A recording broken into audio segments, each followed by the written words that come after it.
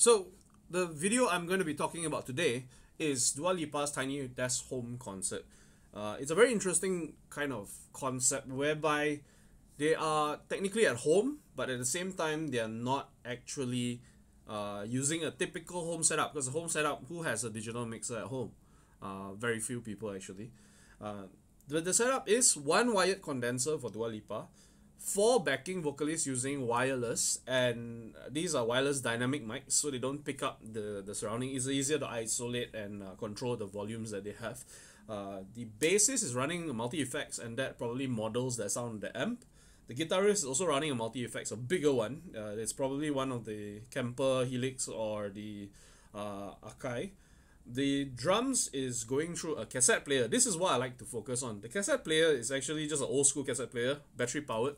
They went and recorded the drums uh, tracks on different cassettes. So when you want a particular track, you put in that one, press you close it and you press play. You can actually hear the, them clicking it in and all that and hitting play.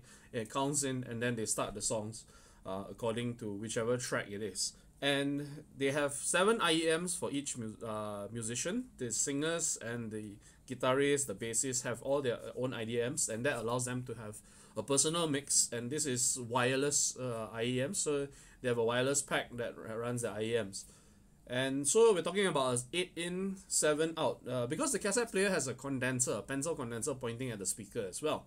So this probably is run through a digital mixer, which allows them to have individual mixes for the IEMs as well as uh, multi track out recording.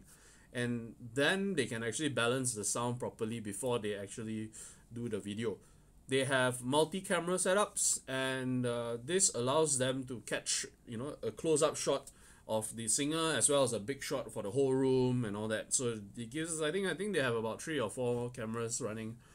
This allows for a very interesting, very intimate, but at the same time very performative performance from them. And so that's why I decided to talk about this in terms of sound. It's a it's a difficult setup to do, to do properly, but if you get it right, it will sound like a properly produced setup.